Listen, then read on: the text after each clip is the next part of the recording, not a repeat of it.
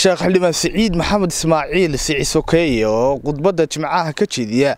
Masaajidada ku yaalla magaalada hargeysa maalinta jimcaha ayaa saaka ka hadlay uu ka hadlay xanaano ku taalla suuqa shiraaqle ee bartamaha hargeysa. Uu sheegay inay xukuumaddu iibisay. Geesta kalena waxa uu farinu diray. Qaar ka mida ganacsatada somalilan uu sheegay inay iibsanayaan danta guud ee dadku wada leeyahay.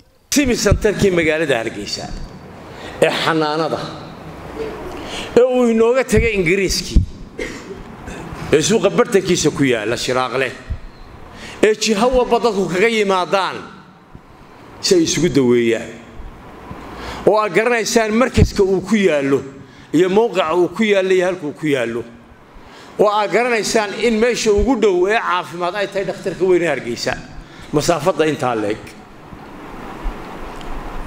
ayaa iib loo dhigay iyadoo oo la hilmaansan yahay ka iibinayaa war meeshan iyay u adeegaysaa. Mayay wax u qabanaysaa yay wax u taraysaa. Ka iibsanayaana uu yahay mid aan dhug isaguna u lahayn war khayrka meeshaa ka soconaya.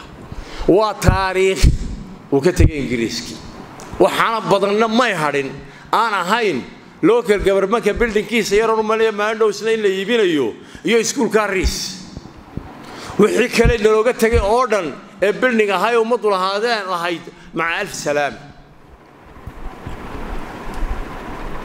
Waxa aynu noqonnay ka iibinayaa mid doonaya lacag. Ka iibsanayaana mid doonaya lacag. Midkoodna aanu u daraynayn islaanta hiliblaha ah ee suuqaaba shiraaqla joogta ee ay mindidu jarto ee loola cararaya m c h-ka si loogu mudo maxaanku dhahdaa irbadda taytanada dabeedna loogu xidho maxaanku dhahdaa cudbi yar. Irbada antibioticana la siiyo. Intee laga gaadhsiin karaa dhakhtarkii weynaa inna lilaahi wa innaa ilayhi mooyaane shuqulkiisa kaloo dhan buu dhammaadaa. Qof ka taga wax waqfa ah oo khayr ah oo laga faa'iidaysto. Sida m c h oo kale.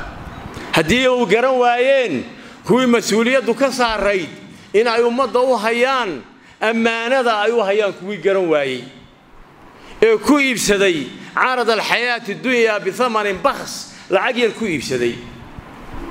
Satus'al amaama allahi subxaanahu wa tacala waa lagu weydiin doonaa waltandur nafsun maa qadamat liqad baanu leenahay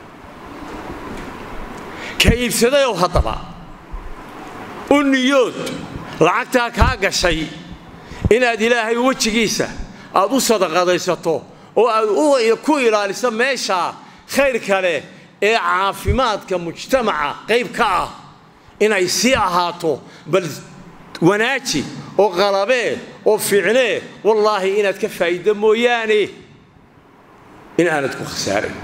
Fi dunyaa wa fi laakhira walaalayaal waxaynu gallay mawsimkii doorashooyinka.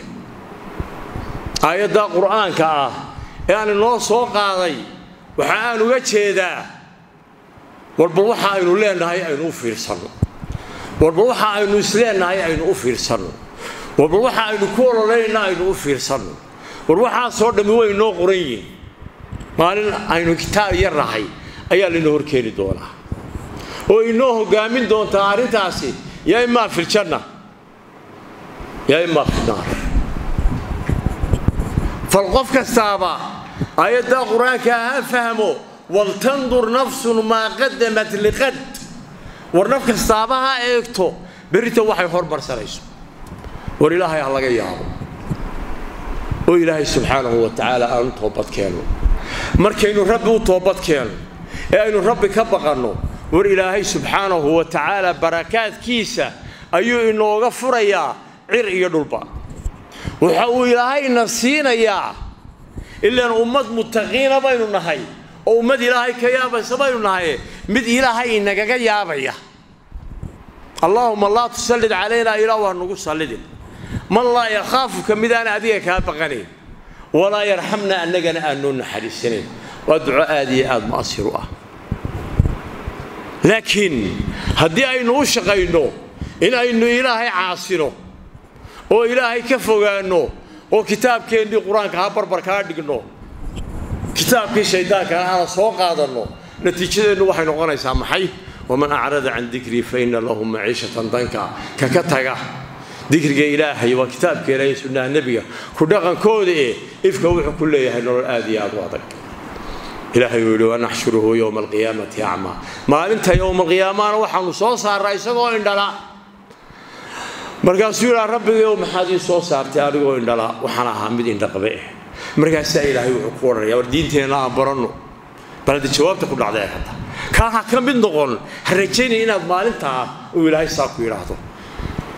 Waxa uu ilaahay yidhi kadaalika atadka aayaatuna sidaas oo kale adiga oo indha qaba oo caqli qaba oo fayowba aayaadkaygii ku yimaadeen fa nasaytaha markaasaad ilowday wakadaalika sidaasoo kalea tunsaa adigana maanta lagu iloobayaa iyaynaan iloobin ilaahay si aanu ilaahay inoo iloobin haddaynu laakiin ilaahay ilowno ilaahayna wuu inoo iloobayaa miyuu inagu sallidayaa markaa mid aan ka baqanin innagana inoo naxariisanin waxaa maalmahan maqlayseen qola ka hadlaysa shiicada iyo muslimiin baa mise muslimiin maaha. Aan diinteenna baranno diinteenna marka aad barato ee qofku diintiisa u barto waxa uu noqonayaa qof faqiih ah qof wax fahmaya. Faqiih macnaheedu waxa weeye waa qofka fahamka leh wax garashada fiican leh ee hadalka fog fahmaya. Ilaahay subxaanahu wa tacaala meel kale ha tegin nebigeennii baa ilaahay subxaanahu wa tacaala kitaab qur'aana ku soo dejiyey. Nebi kale kuma soo dejiyey. Sunnihiisiina ilaahay subxaanahu wa tacaala ku soo dejiyey. Nebi kale maynaan arag. Isagaa dabeedna ilaahay inagu yidhi waxa aad tidhahdeen laa ilaaha ila allah ma jirto cid xaq lagu caabudaa ilaahay mooyaane. Wa ashhadu anna muxamadan cabdu wa rasuuluh nebi maxamedna inuu yahay rasuulkiisii iyo nebigiisii wax kale miyaa laynoo sheegay? Laa hebel baa laynoo sheegay walaa iclaan baa laynoo sheegay walaa cid kalea laynoo sheegay. Haadaa huwa tawxiid. Tawxiidku waa kaa aad maqashaan in aanu jirin cid xaq lagu caabudaa ilaahay mooyaane nebi maxamedna uu yahay rasuulkiisii. Oo ina soo gaadhsiiyey kitaabkii qur'aanka ahaa. Huwada tawxiid. Intaa waxa ka dambeeya waa camalkii camalkaad qabanaysaana waa inuu ahaadaa kuwuu ilaahay yidhi wamaa aataakum arasuulu fakhuduuh war wixii nebigu uu idinla yimaaday qaata. Wamaa nahaakum canhu fantahuu. War wixii uu nebigu idinka reebayna ka taga huwa dalcamal waa kaa qofka muslimka ahi. Laa qaadiri walaa shaadali walaa shiici walaa suufi walaa walaa walaa مقعيدا أن ما أنزل الله بها من سلطانك يا اين الله ضبحني عبك مشرع ده الإسلام وأنت أنا ليش شيء إسلام كتابك القرآن كإلهي وكسود شيء أو إلهي كل النبي جيسا وما آتاكم الرسول فخذوه وروح النبي يدين لي مقاطع وما نهاكم عنه فانتهوا والوحي إلهي سبحانه وتعالى والنبي يتكرر إلهي يتكرر كتاب هو الإسلام haadaa huwa alislaam islaamku waa kaa wixii aan intaa ahayn oo hoos yimaada oo lagu dhex arkaa waa waxaynu jeebkeenna ka keennay oo waxayna kala saaraya markaa oo waxayna kala fogaynayaan oo waxaynu qaybka qayb u leedahay kaasi waa kaafir kaasi waa munaafiq kaasi waa mushrik kaasi waa murtad kaasi waa shiici kaasi waa khawaarij kaasi waa suufi kaasi waa salafi kaasi waa kakata wax kalena ma aha waa laga shaqaystay waxan shaydaan iyo cawaantiisaa ka shaqaysatay kamuu tegin nebigu calayhi salaatu wasalaam shiico magacyadan faraha badan ee aynu ka tagnayna kamuu tegin. Waxa uu ka tegay nebigu calayhi salatu wasalaam qofkaasi waa muslim.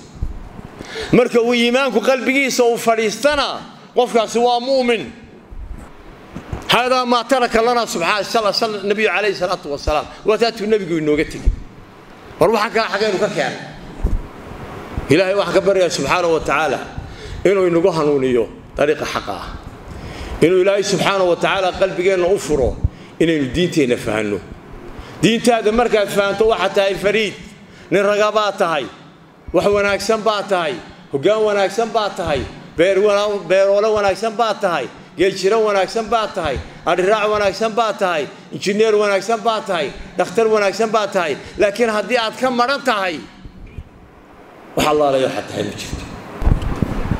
Waxa aynu ka hadli doonnaa aayad ka mida aayadka ilaahay oo aan jecelahay in aanu kadinkaa ka bixin mid innaga inaga midi ilaa iyo uu fahmo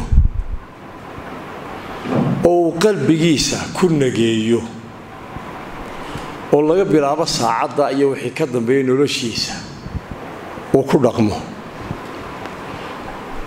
oo uu barto oo korka ka qaybo oo la yimaada aayadda qur'aan waxay ina tusayso. Muxuu ilaahay yidhi fi suurati alxashr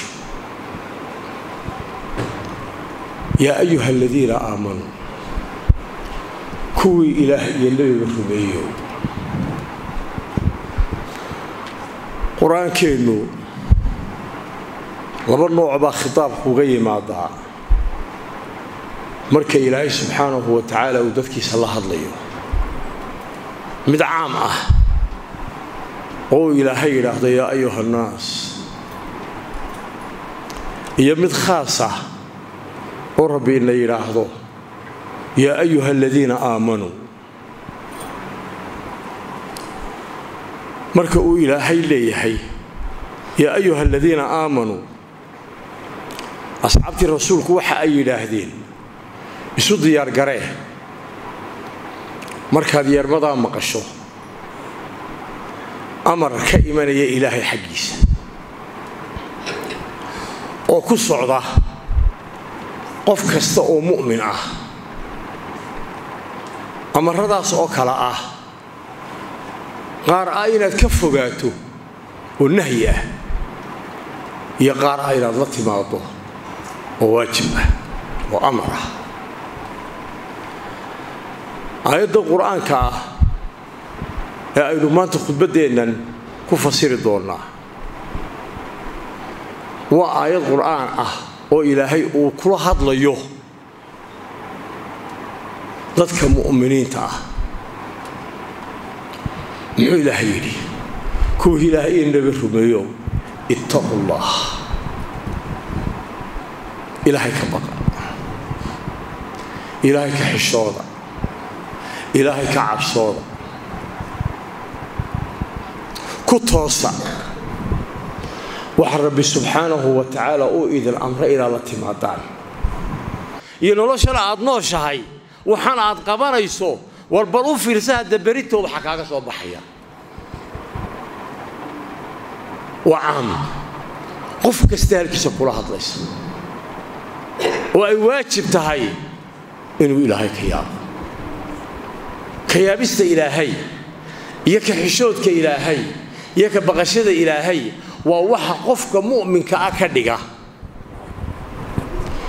Inuu noqdo fariid inuu noqdo caaqil.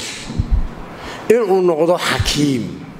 Inuu noqdo qaa'id wanaagsan. Inuu noqdo caadil. Inuu noqdo geesi. Inuu noqdo sakhi inuu noqdo hoggaan. Inuu noqdo meel lagu soo hirto. Inuu noqdo mid marka ay ummaddu aragto ku faraxdo. Marka ummaddu ay maqasho ka mabsuudo. Waa ninka marka uu wax maqlo maqalkiisu uu yahay mid ilaahay raaligelinaya waa mu'minku waxa weeye taqiga ahi. Waa ka marka uu doonayo inuu ummad hoggaamiyo oo ummad wax sheego. Oo ummad wax baro. Oo ummad u shaqeeyo. Meeshuu doonaba ha ka jooga eh.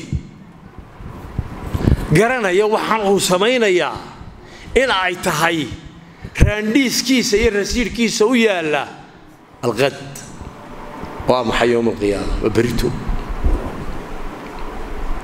markaa garta in ay tahay baqashada ilaahay dariiqa kuu hoggaaminaya inaad ilaahay agtiisa ka noqoto kariim